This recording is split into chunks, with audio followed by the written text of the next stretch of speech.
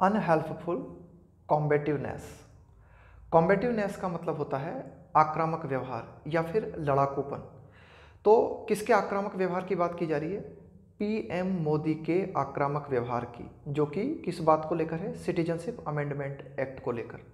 तो एडिटोरियल ये कहना चाहता है कि साहब सिटीजन सिटीजनशिप अमेंडमेंट एक्ट को लेकर पीएम मोदी जो बातें कह रहे हैं, जो आक्रामक व्यवहार दिखा रहे हैं, वह हेल्पफुल नहीं है, वह अनहेल्पफुल है। यह एडिटोरियल जो है यहाँ तक बात करता है। अब देखते हैं, पूरी बात को समझते हैं कि PM Modi must address the concerns about the C कि प्राइम मिनिस्टर नरेंद्र मोदी को ज़रूर से ज़रूर जो है एड्रेस करना चाहिए। एड्रेस का मतलब होता है किसी को संबोधित करना, किसी के बारे में कुछ कहना, किसी पर ध्यान देना।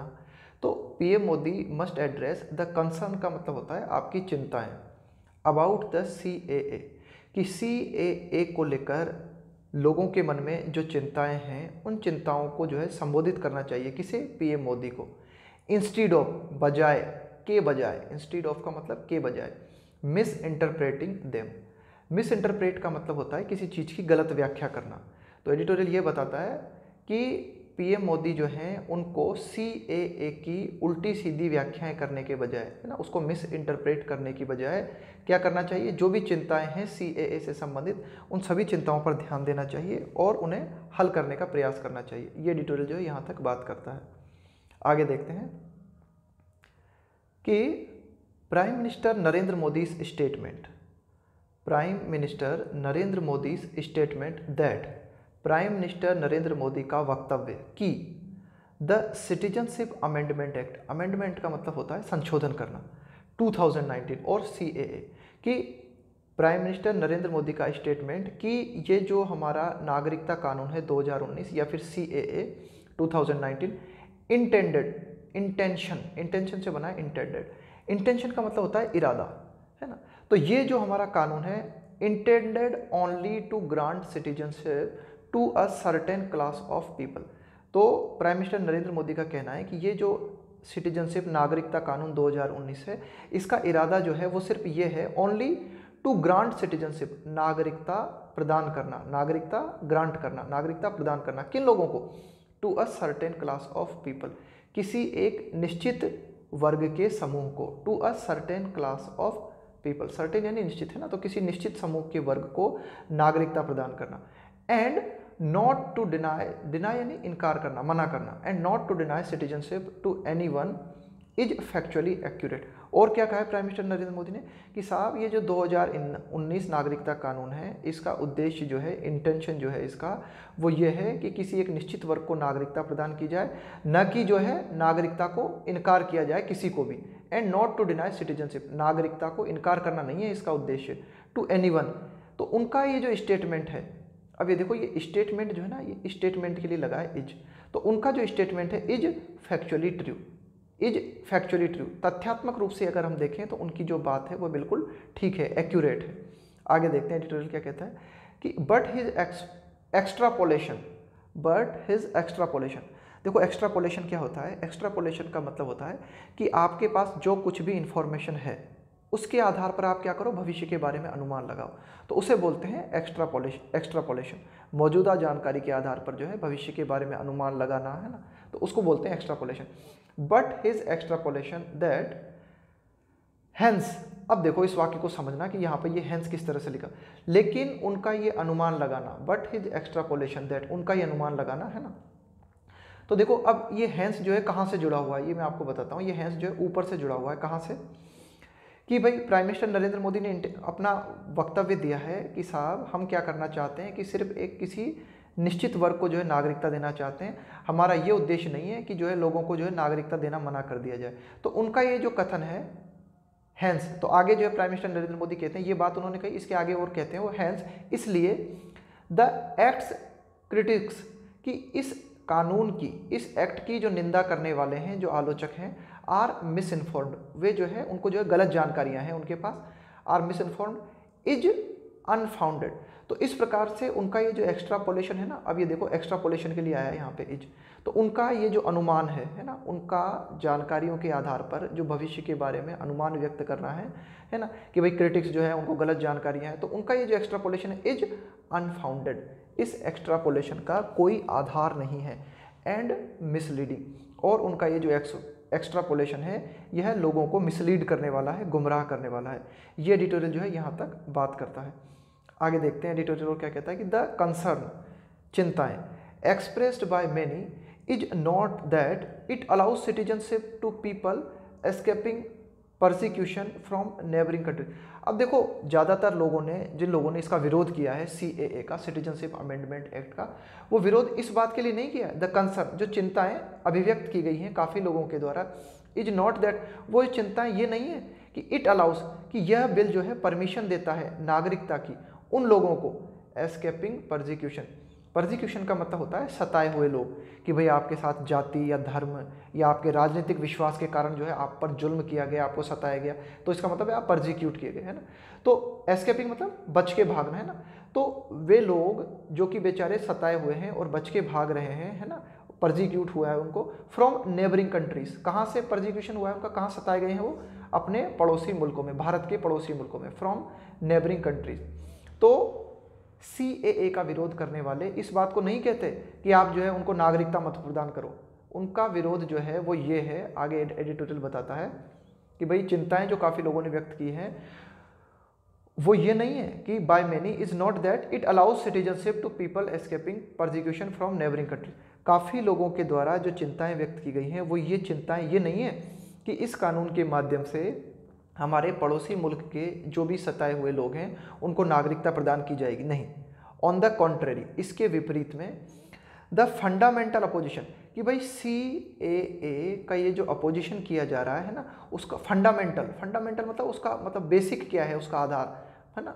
मतलब उसका बेसिक उसका विरोध हो रहा है, वो इसलिए हो रहा है ना? फंडामेंटल अपोजिशन प्राथमिक विरोध जो है वो ये है कि मूल विरोध जो है वो ये, कानून का to the law is that वो ये it does so in a discriminatory and inadequate manner कि ठीक है, सताए हुए लोगों को आप नागरिकता प्रदान करो, लेकिन इस कानून के माध्यम से सताए हुए लोगों को नागरिकता प्रदान की जा की जा रही है। इट इट डज सो यह करता है, यह कानून ऐसा करता है, यानी कि कुछ लोगों को नागरिकता प्रदान करता है इन अ डिस्क्रिमिनेटरी डिस्क्रिमिनेटरी का मतलब होता है भेदभावपूर्ण एंड इनएडिक्वेट मैनर इनएडिक्वेट मतलब अपर्याप्त, यानी कि इसमें जो है नागरिकता जिन लोगों को दी जाएगी, कुछ सीमित लोगों को दी जाएगी और कुछ लोग जो है उनको नागरिकता नहीं दी जाएगी, भले ही उनको जो है पड़ोसी मुल्क में प्रताड़ित किया गया हो। तो इस प्रकार से ये जो सी है, इस बिल का, इस बिल के बारे में ऐसा कहना है काफ़ी लोगों का कि साहब ये डिस्क्रिमिनेटरी है, भेदभाव से भरा हुआ है। अगर आप नागरिकता देना चाहते हो सताए हुए लोगों को तो किसी धर्म के आधार पर क्यों? सभी लोगों को क्यों नहीं? ये एडिटोरियल जो बात करता है कि मुख्य विरोध जो है लोगों का, वो ये है। ये विरोध नहीं है लोगों का कि ये जो है काफ़ी कुछ लोगों को जो है नागरिकता प्रदान करता है। नहीं। यह जो है किसी पर्टिकुलर धर्म के आधार पर लोगों में विभेद करता है। ये लोगों का जो है सीएए को लेकर विरोध है। आगे देखते हैं एडिटोरियल और क्या बात करता है कि the C A introduces a religious test in classifying victims of persecution persecution मतलब वही, प्रताड़ित लोग, सताए हुए लोग, जिन पर जुल्म किया गया विक्टिम यानी पीड़ित। तो सी A A introduces C A ए के माध्यम से हम जो है क्या इंट्रोड्यूस करना चाहते हैं, किस चीज़ को लाना चाहते हैं? सी ए ए के माध्यम से एक नई चीज़ इंट्रोड्यूस होती है, वो है धार्मिक test religious test in classifying victims of persecution कि भाई ये क्या करता है? सी ए ए जो है, एक धार्मिक टेस्ट अगर सी ए ए को अगर हम माने पूरी तरीके से तो इसके माध्यम से क्या होगा? आपको एक धार्मिक टेस्ट से गुजरना होगा। In classifying victims of prosecution कि सताए गए लोगों का, यानी कि जो पीड़ित लोग हैं जिनको कि सताया गया हो, जिनको कि सताया गया है सी ए क्या करता है? उनको क्लासीफाई करता है, उनको वर्गीकृत करता है धर्म के आधार पर। एंड तो इस प्रकार से वर्गीकृत करना एंड ग्रांटिंग देम सिटीजन और इस प्रकार से धार्मिक टेस्ट के आधार पर लोगों को, पीड़ित लोगों को जो है वर्गीकृत करने के बाद में जो है उनको नागरिकता प्रदान करना. And granting them citizenship in a secular republic और सेक्युलर रिपब्लिक भारत के लिए कहा गया है कि साहब, हमारा जो भारत का जो गणतंत्र है, जो रिपब्लिक है हमारा, वह जो है धर्मनिरपेक्ष है सेक्युलर है। तो एडिटोरियल ये कहना चाहता है कि ये मूल चिंता है कि सीएए जो है एक धार्मिक टेस्ट करता है उन लोगों का परीक्षण करने के लिए जो कि पीड़ित किए गए हैं और जो है उनको नागरिकता प्रदान करता है एक ऐसे देश में जो कि धर्मनिरपेक्ष है ना? ये एक ऑब्जेक्शन का पॉइंट है। The one strand of opposition one strand यहाँ पे स्ट्रैंड का मतलब है एक और पहलू, है एक और पहलू वन स्टैंड ऑफ़ अपोजिशन कि भाई एक और पहलू जो इस सी ए का विरोध किया जा रहा है, वो ये किन के द्वारा विरोध किया जा रहा है? अमंग इंडिजिनस कम्युनिटीज़ इंडिजिनस मतलब होता है नेटिव है ना? मूल, स्वदेशी या फिर देशी. तो among indigenous communities in the north eastern states कि भारत के जो उत्तर पूर्व के राज्य हैं, उन राज्यों के जो मूल लोग हैं, है ना? मूल वहाँ के जो रहने वाले हैं, उन लोगों के द्वारा ये जो सी का विरोध किया जा रहा है उस एक पहलू ये भी बनता है, उसका वो इसलिए किया जा रहा है the one stand of opposition is अभी देखो ये यहाँ से और यहाँ तक, ये क्या है कोमा टू कोमा ब्रैकेट में लिखी हुई है बात। तो the one stand of opposition is indeed against granting citizenship rights to any तो एक जो विरोध का पहलू है, वो ये वास्तव में इज़ इंडीड अगेंस्ट किसके खिलाफ है वो? ग्रांटिंग सिटीजनशिप नागरिकता दे प्रदान करने के खिलाफ है राइट्स टू एनीवन राइट यानी अधिकार, कि नागरिकता के अधिकार किसी को भी न दिए जाएँ, ऐसा भी कहना है। कहाँ? कुछ नॉर्थ ईस्टर्न कम्युनिटीज़ हैं, उन लोगों का ऐसा भी कहना है तो एक पहलू ये भी है। रिगार्डलेस ऑफ़ रिलीजन चाहे वह व्यक्ति किसी भी धर्म का क्यों ना हो। रिगार्डलेस रिगार्डलेस मतलब कि भाई इस बात की परवाह किए बिना रिगार्डलेस ऑफ़ रिलीजन रिलीजन कि आप जो है रिलीजन फिलीजन को भाड़ में जाने तो रिलीजन की परवाह किए बिना ही एक पहलू सी ए के विरोध का, जो कि नॉर्थ ईस्टर्न स्टेट के द्वारा किया जा रहा है, वो ये कि granting citizenship rights to anyone कि नागरिकता के अधिकार जो है वो प्रदान ही न किए जाए, किसी को भी न दिए जाए, चाहे वो किसी भी धर्म का हो। आगे देखते हैं डिटेल और क्या बात करता है। कि mister Modi appear to be eager. Eager का मतलब होता है अत्यधिक उत्सुक होना, अपियर्ड मतलब प्रतीत होना, कि mister Modi appear to be eager. कि मिस्टर मोदी जो है, नरेंद्र मोदी जो है, वो बहुत ज़्यादा एक्साइटेड बहुत ज़्यादा उत्सुक प्रतीत हुए किस चीज़ के लिए? To pacify them to pacify them है ना? शांत करने के लिए, है ना? टू पैसिफाई देम है ना? ये जो नॉर्थ ईस्टर्न के लोग जो है, विरोध कर रहे हैं बहुत ज़्यादा, है ना? उनको शांत करने के लिए। पैसिफाई का मतलब होता है, किसी के गुस्से को कि है ना? बहुत ज़्यादा कोई आक्रामक हो रहा है तो उसको ठंडा करना। टू पैसिफाई देम तो mister Modi appear to be eager to pacify them कि मिस्टर नरेंद्र मोदी जो हैं, वह उन लोगों को शांत करने के लिए अत्यधिक उत्सुक प्रतीत हुए। एज ही शुड बी और उनको होना भी चाहिए। बाय रीइटरेटिंग यह कहते हुए, यह दोहराते हुए रीइटरेट बहुत इंपॉर्टेंट शब्द है ये। रीइटरेट रीइटरेट इंपोर्ट स्टार लगा लेना, इस पर बहुत अच्छी तरह से याद करना इसे। रीट्रेट का मतलब होता है दोहराना। किसी भी चीज़ को जो है रिपीट करना, उसको बोलते हैं रीट्रेट तो मिस्टर मोदी जो है, उन लोगों को शांत करते हुए प्रतीत हुए एज ही शुड बी और उनको होना भी चाहिए बाय रीट्रेटिंग और ऐसा करते हुए कैसे प्रतीत हुए? वो दोहराते हुए by reiterating that safeguard safeguard यानी सुरक्षा के उपाय। That safeguards are being included in the law to protect the cultural and linguistic rights of indigenous groups अब देखो कि ये जो नॉर्थ ईस्टर्न लोग हैं, भारत के जो नॉर्थ ईस्टर्न लोग हैं, इनको क्या लगता है कि यार, आलतू फालतू लोग जो हैं, किसी भी देश से अगर आएँगे तो वो क्या करेंगे? हमारे ऊपर, एक तरीके से क्या? हमारे ऊपर कब्जा करने का प्रयास करेंगे, हमारी संस्कृति को नष्ट करने का प्रयास करेंगे। तो इस तरह का उनको जो खतरा लगा हुआ है तो उस खतरे को मिस्टर मोदी ने शांत करने के लिए जो है दोहराई। क्या बात दोहराई? कि साहब, हमने उचित उपाय किए हैं, हमने safe are include are being included कि सुरक्षा के उपाय जो हैं बीइंग इंक्लूडेड शामिल किए जा रहे हैं। पैसे में बना हुआ है वाक्य। आर बींग इंक्लूडेड कि भाई सुरक्षा के उपाय भी जो है शामिल किए जा रहे हैं इन द लॉ इस कानून में टू प्रोटेक्ट रक्षा करने के लिए कल्चरल एंड लिंग्विस्टिक राइट्स की सांस्कृतिक और लिंग्विस्टिक यानी भाषा संबंधी जो अधिकार हैं देशी लोगों के या देशी ग्रुप जो हैं, उन लोगों के भाषा संबंधी अधिकार और उनकी संस्कृति से संबंधित अधिकारों की रक्षा करने के लिए इस कानून में जो है सेफ़ है ना, सुरक्षा के उपाय भी शामिल किए जा रहे हैं। When it comes to addressing the legitimate and well founded concerns of constitutional expert ठीक है? भाई, एक तरीके से क्या किया कि नॉर्थ ईस्टर्न के जो लोग हैं, उन्होंने जो अपनी अपनी बातें उठाई, उन्होंने जो विरोध दर्ज कराया, उनको शांत करने के लिए तो है, मिस्टर मोदी ने जो है अपनी बातों को जो है फिर से दोहराया। लेकिन कुछ कॉन्स्टिट्यूशनल एक्सपर्ट कि हमारे जो संविधान के जो एक्सपर्ट हैं, उनका क्या कहना है? भाई हमारा संविधान कहता है कि भारत एक धर्मनिरपेक्ष राज्य है, यानी कि धर्म के आधार पर हम किसी से भी जो है भेदभाव नहीं करते। तो कॉन्स्टिट्यूशनल एक्सपर्ट संवैधानिक जो विशेषज्ञ हैं, उनका ये मानना है कि ये जो सीएए है, ये CAA क्या करता है कि धर्म के आधार पर लोगों में भेदभाव करता है? तो इसलिए जो है इस कानून में जो है संशोधन किया जाना चाहिए या इस कानून को जो है निरस्त किया जाना चाहिए।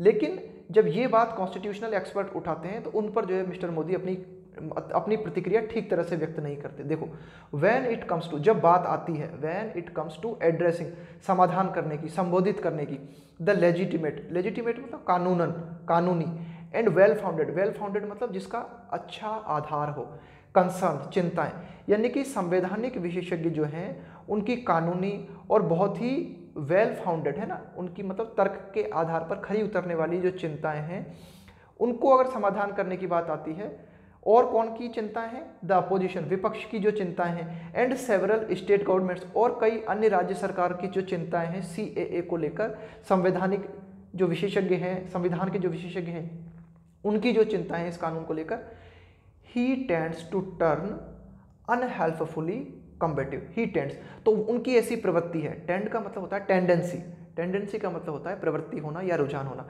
तो जब इन सब लोगों की बात आती है और ये यानी कि संविधान के जो विशेषज्ञ हैं या फिर अपोजिशन के लीडर हैं अपोजिशन के नेता हैं या पूरा विपक्ष दल है या फिर कई स्टेट की गवर्नमेंट है, वे जब अपनी चिंताएँ व्यक्त करती हैं और उनकी चिंताएँ कानूनी हैं और उन चिंताओं का जो है पर्याप्त आधार है तो प्राइम मिनिस्टर नरेंद्र मोदी जो है उनको ठीक तरह से अभिव्यक्त, उनकी चिंताओं का जो है समाधान नहीं करते।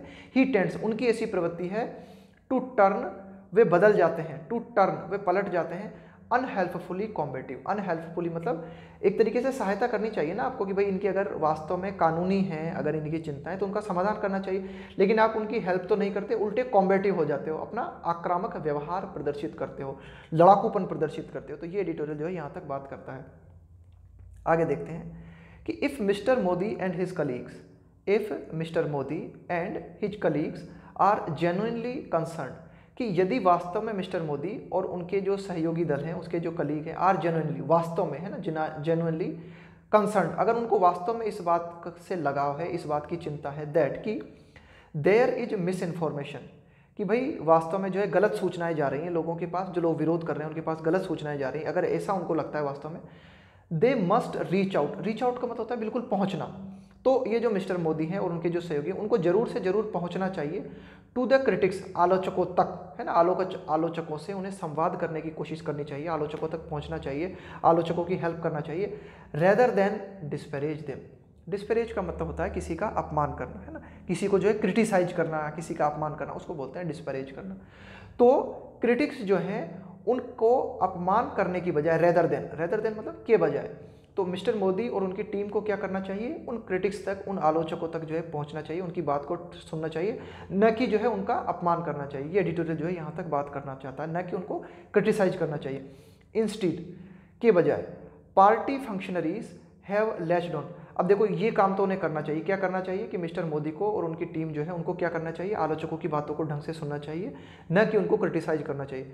जबकि हुआ क्या है? इंस्टीट इसके बजाय जबकि हुआ क्या है? पार्टी फंक्शनरीज पार्टी फंक्शनरीज का मतलब है यहाँ पे पार्टी के जो लोग हैं, है ना? एक तरीके से बीजेपी पार्टी के लिए कहा जा रहा है कि बीजेपी पार्टी के जो कार्यकर्ता हैं, बीजेपी पार्टी के जो राजनीतिक लोग हैं have latch down L A T C H है ना? लैच ऑन क्या मतलब होता है इस लैच ऑन का? ये पूरी एक फ्रेजर वर्ब है हमारी लैच ऑन इस लैच ऑन का मतलब होता है to begin to understand something है ना? समझना किसी चीज़ को, है ना? इसके बजाय क्या है कि पार्टी के जो राजनेता हैं, पार्टी के जो कार्य करने वाले लोग हैं have latched on to the situation वे इस परिस्थिति को जो है समझते हैं, है ना? ऐसा समझा है उन्होंने इस परिस्थिति को। एज येट अनदर अपॉर्चुनिटी यानी कि वर्तमान में जो परिस्थिति चल रही है सीएए को लेकर तो बीजेपी पार्टीज़ के जो फंक्शनरीज हैं, वे इस परिस्थिति को एक अन्य अवसर की तरह लेते हैं। एज येट अनदर अपॉर्चुनिटी एक अन्य अवसर की तरह लेते हैं फॉर पॉलिटिकल प्रोपेगेंडा राजनीतिक प्रचार प्रसार करने के लिए। प्रोपेगेंडा मतलब होता है एक तरीके का प्रचार प्रसार करना, है ना? तो एक तरीके से एडिटोरियल ये कहना चाहता है कि साहब, ये जो बीजेपी पार्टी के कार्यकर्ता हैं या फिर राजनीतिक लोग हैं, यह वर्तमान सिचुएशन को समझने की बजाय, है ना? इसको समझना चाहिए उन्हें, ना?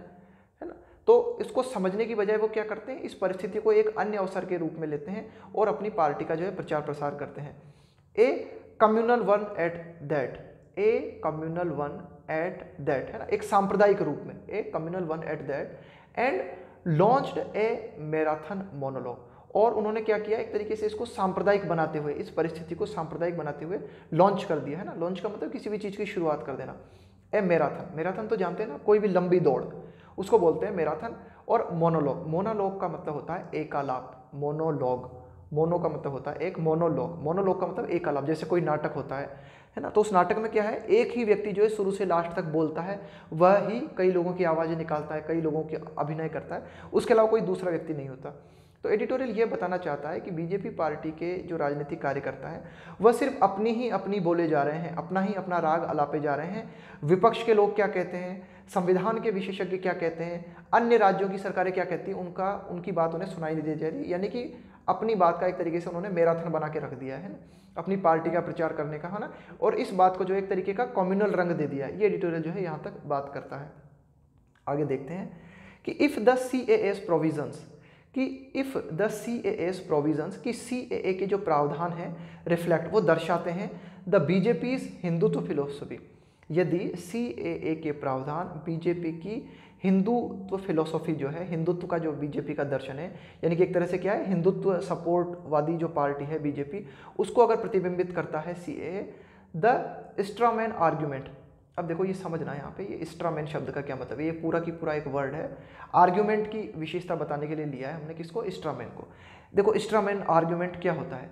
स्ट्रामैन आर्ग्यूमेंट जो है, एक ऐसा तर्क होता है जैसे कि क्या है कि जैसे सीएए का विरोध किया जा रहा है सीएए के खिलाफ तर्क दिए जा रहे हैं तो आप उन तर्कों को काटने के लिए एक नया तर्क खोजते हो तो उसको बोलते हैं स्ट्रामैन आर्ग्यूमेंट। तो स्ट्रामैन आर्ग्यूमेंट का मतलब होता है कि कोई भी आपका तर्क या फिर कोई भी दावा जिसकी कि आप खोज करते हो, ताकि जो है आप अपने दावे को बेहतर साबित कर सको। तो एडिटोरियल बोलता है कि सीएए के खिलाफ जो विरोध किए जा रहे हैं, उन विरोधों को जवाब देने के लिए जो आर्ग्यूमेंट, जो स्ट्रामैन आर्ग्यूमेंट खोजा गया है, फर्दर और आगे एसेंचुएट्स इट वो जो है, इस बात को और ज़्यादा बढ़ा देता है। फर्दर एसेंचुएट्स इट एसेंचुएट का मतलब क्या होता है? एसेंचुएट का मतलब होता है, किसी भी चीज़ को ज़ोर देकर और अधिक स्पष्ट करना, है ना? और अधिक जो है, प्रबल बना देना किसी चीज़ को, है ना? किसी चीज़ पर जो है ज़ोर देना, बल देना। तो ये एडिटोरियल कहता है कि भाई ये जो सी ए ए के खिलाफ जो विरोध किए जा रहे हैं, उन विरोधों का आप ठीक तरह के जवाब न दे के है ना? तो एक तरीके से तो क्या है कि सी ए ए के माध्यम से सी ए के प्रावधानों के माध्यम से जो है बीजेपी की हिंदुत्व तो आइडियोलॉजी जो है, वो प्रतिबिंबित होती है। तो ये जो तर्क सी ए ए के खिलाफ जो लोग विरोध कर रहे हैं, उन विरोध करने वाले लोगों के खिलाफ जो बीजेपी पार्टी के द्वारा जो तर्क दिए जाते हैं, वह दोबारा से इस हिंदुत्व तो आइडियोलॉजी को जो है, और अधिक स्पष्ट करते हैं। ये एडिटोरियल जो है, बात करता है। The suggestion is that the CAA's opponents are opposed to giving refugees to persecuted Hindu, Sikh, Buddhist, Jain and Christian minorities from Pakistan. अब देखो एक सजेशन एक सुझाव ये दिया जा रहा है ना एक सुझाव ये निकल के आता है कि भाई क्या है कि सी ए का काफ़ी लोगों के द्वारा विरोध किया जा रहा है ना बीजेपी पार्टी के मेंबर जो हैं उन विरोध करने वालों का विरोध कर रहे हैं तो इसके माध्यम से एक ऐसा सुझाव देने की कोशिश की जा रही है। द सजेशन इज़ दैट सुझाव है, वो ये है दैट कि सी ए के जो विरोध करने वाले हैं, वे विरोध कर रहे हैं, किसका? आर अपोज टू वे विरोध में हैं। किसके? गिविंग रेफ्यूज शरण शरण देने के। किन लोगों को? जो सताए गए हिंदू हैं, सिख हैं, बुद्ध हैं, बुद्धिस्ट हैं, बुद्ध धर्म के लोग हैं, जैन धर्म के लोग हैं या क्रिश्चियन माइनॉरिटीज़ यानी अल्पसंख्यक फ्रॉम पाकिस्तान जबकि ऐसा है नहीं। कहाँ कहाँ से? From Pakistan Afghanistan and Bangladesh which they are not देखो, एक सुझाव जो प्रतीत हो रहा है, एक जर्नल धारणा जो फैल रही है ना जिस या जिसको फैलाने का प्रयास किया जा रहा है, वो ये कि भाई जो सी ए का जो विरोध करने वाले हैं, वह हिंदू, सिख, बुद्ध, जैन, क्रिश्चियन, अल्पसंख्यक जो कि पाकिस्तान से, अफ़गानिस्तान से या बांग्लादेश से हैं, उनको भारत में शरण देने के खिलाफ है। नहीं सी ए के अपोनेंट्स जो हैं, वे इन लोगों को शरण देने के खिलाफ नहीं हैं। वे जो खिलाफ हैं, वो इस बात के खिलाफ हैं कि साहब, ये कुछ पर्टिकुलर धर्म आपने क्यों चुन लिए? फॉर एग्ज़ाम्पल के तौर पे, आपने मुस्लिम धर्म को क्यों छोड़ दिया? यदि मुस्लिम धर्म के लोग सताए गए हैं तो उन्हें भी तो जो है सीएए के माध्यम से जो है आप पर अगर वो भी परजिक्यूट हुए हैं तो उनको भी नागरिकता देनी चाहिए ना। ये है उनका मुख्य विरोध। जबकि बीजेपी पार्टी का जो प्रोपेगेंडा किया जा रहा है, उसके माध्यम से ये जो है प्रचार प्रसार, ये संदेश जो है फैलाने की कोशिश की जा रही है कि साहब सी ए का जो विरोध करने वाले हैं, वह हिंदू, सिख, बुद्ध, जैन और इन लोगों को जो है नागरिकता देने के विरोध में, जबकि ऐसा नहीं है विच दे आर नॉट यानी कि ऐसा नहीं है। The C S rational rational का मतलब होता है लॉजिक है ना? आपका तर्क का आधार क्या है है ना? आपका बेसिस क्या है? The CAS rationale is that these countries have a state religion अब देखो सी ए ए जो सिटीजनशिप अमेंडमेंट एक्ट है, उसका औचित्य क्या है है ना? उसका आधार है वो ये कि साहब, ये जो कंट्रीज़ हैं कौन कौन सी कंट्रीज़ की पाकिस्तान है, अफ़गानिस्तान है और बांग्लादेश है। हैव इन कंट्रीज़ में है क्या? A, state religion. State religion का मतलब होता है कि कोई भी राज्य या फिर कोई भी देश एक पर्टिकुलर धर्म को मानता है। जैसा कि भारत के संदर्भ में अगर हम बात करें तो भारत जो है किसी भी धर्म को नहीं मानता, भारत के लिए सारे धर्म जो है समान है। तो ये डिटेल कहता है कि सी ए ए का जो आधार है, वो आधार ये है कि इन कंट्रीज़ में, किन कंट्रीज़ की बात की जा रही है? पाकिस्तान, अफ़गानिस्तान और खास करके बांग्लादेश की। तो इन कंट्रीज़ में जो है, इनका अपना एक धर्म है। And religious minorities face prosecution और इन देशों में जो भी लोग अल्पसंख्यक हैं, यानी कि जो लोग उस स्टेट रिलीजन को नहीं मानते हैं, यानी कि पाकिस्तान, अफ़गानिस्तान और बांग्लादेश का जो स्टेट रिलीजन है, जो उनके देश का धर्म है, उस धर्म को जो लोग नहीं मानते हैं, यानी कि जो लोग अल्पसंख्यक हैं उनको क्या किया जाता है? प्रताड़ित किया जाता है। वे जो है जुल्म सहते हैं। And religious minorities face prosecution persecution तो यही एडिटोरियल बोलता है कि इन देशों में जो भी लोग जो है धर्म, धार्मिक रूप से अल्पसंख्यक हैं, उनको जो है उत्पीड़ित, उनको जो है सताया सताया जाता है। उनका, उनको जो है जुल्म किया जाता है। आगे देखते हैं एडिटोरियल क्या बात करता है। But persecution need not be only religious in nature लेकिन एडिटोरियल बोलता है कि जुल्म करना। सताना किसी को। नीड नॉट भी आवश्यक नहीं है कि वह जो है धार्मिक ढंग का ही हो। भाई, सताया जो है धार्मिक रूप से ही जाए, ऐसा कोई ज़रूरी नहीं है। अन्य कई आधारों पर जो है सताया जा सकता है। बट परजिक्यूशन कि ये जो जुल्म किए जाते हैं, नीड नॉट भी ज़रूरत नहीं है ओनली रिलीजियस इन नेचर कि सताना जो है सिर्फ़ धार्मिक प्रकृति का ही हो। फॉर एग्ज़ाम्पल के तौर पे एडिटर आगे बताता है कि इन श्रीलंका श्रीलंका में अगर हम देखें, Tamils have suffered in the hands of the establishment and the dominant Sinhala कि तमिल लोग जो हैं श्रीलंका में, उनको जो है झेलना पड़ा है, सफ़र करना पड़ा है ना, परेशानी झेलनी पड़ी है। इन द हैंड्स ऑफ़ किन के हाथों? The establishment and the dominates establishment कि भाई वहाँ पर जिन लोगों का, जिन लोगों की सरकार है, उनके द्वारा। या फिर जहाँ पर जो लोग डोमिनेंट है। डोमिनेंट का मतलब होता है जिनका प्रभाव है। खास करके सिंघाला कम्युनिटी यहाँ पर ये जो सिंघाला कम्युनिटीज़ है तमिलनाडु ये श्रीलंका में। श्रीलंका में क्या है कि सिंघाला कम्युनिटीज़ जो है, वो एक प्रभावशाली मेजोरिटी है उनकी। तो वो क्या करते हैं, एक तरीके से तमिल लोगों को सताते हैं, है ना? तो ये एडिटोरियल जो है बात करता है कि भाई ज़रूरी नहीं है कि धर्म के आधार पर ही जो है भेदभाव किया जाए, है ना?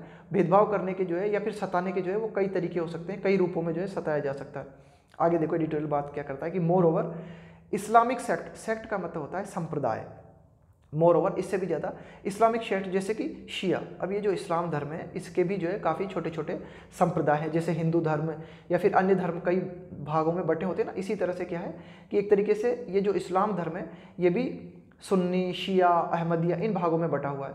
तो एडिटोरियल क्या कहता है कि मोर ओवर इस्लामिक सेक्ट्स कि इस्लाम से संबंधित जो संप्रदाय हैं, जैसे कि शिया है या फिर अहमदिया है या फिर इसके अलावा एंड नॉन बिलीवर्स और कुछ ऐसे भी तो लोग हैं जो किसी धर्म में विश्वास नहीं करते। And non believers that have come under attack in these countries है ना? तो अब ये जो पाकिस्तान, बांग्लादेश, अफ़गानिस्तान की जो हमने बात की, है ना? इन देशों में यदि शिया धर्म के मानने वाले हैं या फिर अहमदिया धर्म के मानने वाले हैं, अब एक तरीके से ये तो मुस्लिम धर्म की ही तो शाखा है। या फिर जो लोग किसी भी धर्म में विश्वास नहीं करते हैं, उनको भी अटैक झेलना पड़ा है। Have come under attack. उन पर भी अटैक हुआ है। उनको भी जो है आक्रमण झेलना पड़ा है। उनको भी जुल्म सहना पड़ा है। इन दीज थ्री कंट्रीज़ इन तीन देशों में। तो इन, जिन लोगों को जो जुल्म झेलना पड़ा है ना, ये जो शिया, अहमदिया और नॉन बिलीवर्स लोग हैं आर डिनाइड इनको मना किया गया है। द बेनिफिट कि इनको जो है फ़ायदा नहीं मिलेगा under the C A A C A ए के प्रावधानों के तहत फॉर नो लॉजिकल रीजन और इसका कोई जो है उचित तर्क आधार भी नहीं दिया गया है। कि भाई आप कहते हो कि हम पीड़ित या सताए गए लोगों को जो है नागरिकता देना चाहते हैं। तो जैसे कि अगर हम बात करें तो यह तो जो है शिया है, अहमदिया है नॉन बिलीवर्स है, इन लोगों का क्या? अगर इन लोगों पर अत्याचार किए हैं और हुए हैं हैव कम अंडर अटैक्स इन पर आक्रमण हुए हैं इन कंट्रीज़ में, लेकिन हमारा सीएए जो है वो डिनाई करता है, इनको मना करता है कि जो है सीएए के जो प्रावधान है, वह इन लोगों को जो है नागरिकता नहीं देते। आगे देते हैं, आगे देखते हैं कि the explanation that the current C कि यह व्याख्या है ना? The explanation that the current C A A only remedying a grievance left over left over का मतलब है जो छोड़ा गया, जो छोड़ दिया गया। Left over by partition is unconvincing तो अब देखो, एक व्याख्या ये दी जाती है सरकार के द्वारा कि ये व्याख्या that the current C A कि वर्तमान में ये जो सी ए ए बिल है या सी ए जो कानून है इज़ ओनली रेमेडिंग ये सिर्फ़ कर रहा है। क्या कर रहा है? उपचार कर रहा है। रेमेडी का मतलब उपचार करना। एक ग्रीवेंसेस उन कष्टों का उपचार कर रहा है, उन शिकायतों का उपचार कर रहा है, जो कि बची हुई हैं, जो कष्ट जो कि बचे हुए हैं। किसके माध्यम से? ये जो पार्टीशन हुआ था, यानी कि देश का जो बंटवारा हुआ था, भारत पाकिस्तान का एक तरीके से जो बंटवारा हुआ था तो उस बंटवारे का दर्द जो काफ़ी लोगों को सहना पड़ रहा है है ना? उसका उपचार करने की कोशिश की जा रही है सीए के माध्यम से। तो ये जो तर्क है तो एक्सप्लेनेशन ये जो एक्सप्लेनेशन है इज़ अनकन्विंसिंग है ना? इस बात से जो, इस बात से राज़ी होना कठिन है। देखो कन्विंसिंग का मतलब है कोई भी ऐसी बात जिसको से कि आप राज़ी हो जाओ, जिससे आप सहमत हो जाओ। उसको कहेंगे कि हाँ साहब, ये लॉजिक जो है, ये कन्विंसिंग है। लेकिन यहाँ पर ये जो एक्सप्लेनेशन सी ए के लिए दिया जा रहा है, ये अनकन्विंसिंग है है ना? ये इस इस बात से राज़ी नहीं हुआ जा सकता इस तर्क से। अफगान रेफ्यूजीज अफगान शरणार्थी जो हैं शुड नॉट हैव क्वालिफाइड है ना? Should not have qualified qualify का मतलब है कि भाई अफगान रेफ्यूजी जो है, अफगान शरणार्थी जो हैं, वे इस टेस्ट को पास नहीं शुड नॉट हैव क्वालिफाइड उनको जो है क्वालिफाई नहीं होना चाहिए बाय दैट रीजन अगर आप ये कहते हो कि भाई बंटवारे का दर्द जिन अल्पसंख्यक लोगों को पाकिस्तान में सहना पड़ रहा है, उस, उन लोगों को जो है हम नागरिकता देना चाहते हैं तो ये तर्क जो है सही प्रतीत नहीं होता. क्यों? क्योंकि फिर अफगान शरणार्थियों को क्यों दे रहे हो आप जो है? अगर वो नागरिकता अगर आप देना चाहते हो तो फिर अफगान शरणार्थी कहाँ से आ गए? अफगान रेफ्यूजी अफगान शरणार्थी जो है शुड नॉट हैव क्वालिफाइड उनको जो है पास नहीं होना चाहिए बाय दैट रीजनिंग अगर आप ये लॉजिक अप्लाई करते हो, ये रीजनिंग ये तर्क अगर आप अप्लाई करते हो इन ट्रुथ वास्तविकता में the popular suspicion of the government's intent the popular suspicion of the government's intents draws from its political rhetoric and the link between a national register of Indian citizens and the CAA that its functionaries repeatedly seek to force. अब देखते हैं इस बड़ी सी line को कि क्या editorial इसके माध्यम से कहना चाहता है कि वास्तव में कि द पॉपुलर सस्पिशन सस्पिशन का मतलब होता है शक, संदेह ऑफ़ द गवर्नमेंट्स इंटेंट कि भाई सरकार के जो इंटेंशन है है ना, उन इंटेंशनों पर ये जो शक जाता है, यानी कि जो लोग विरोध कर रहे हैं सीएए का तो वे सरकार का ये जो इंटेंशन है है ना, उस पर अगर शक कर रहे हैं the popular suspicion of the government intention draws draw का मतलब होता है खींचना, यानी कि सी ए ए का जो विरोध करने वाले हैं,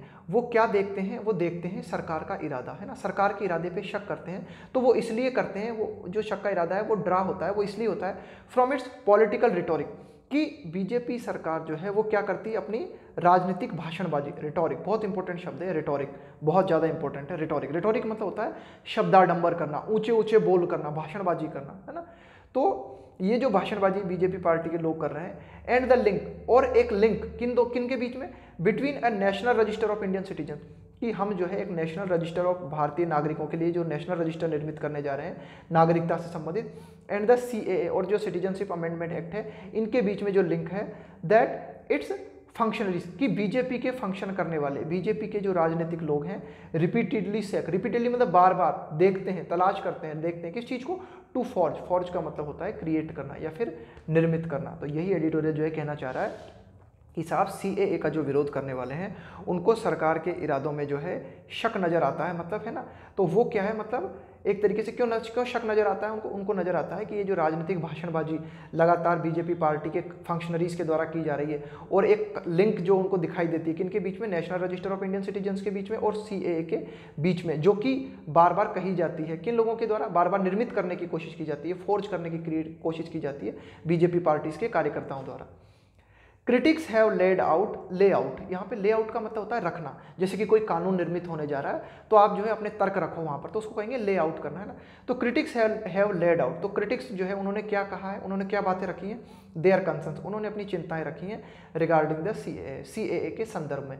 इट इज़ द गवर्नमेंट अब ये सरकार है दैट नीड्स अब सरकार को ज़रूरत है टू एक्सप्लेन इट्स पोजिशन कि सरकार सी ए ए के संबंध में जो है, अपने पोजिशन को जो है, अपने अपने पहलू को जो है प्रदर्शित करें।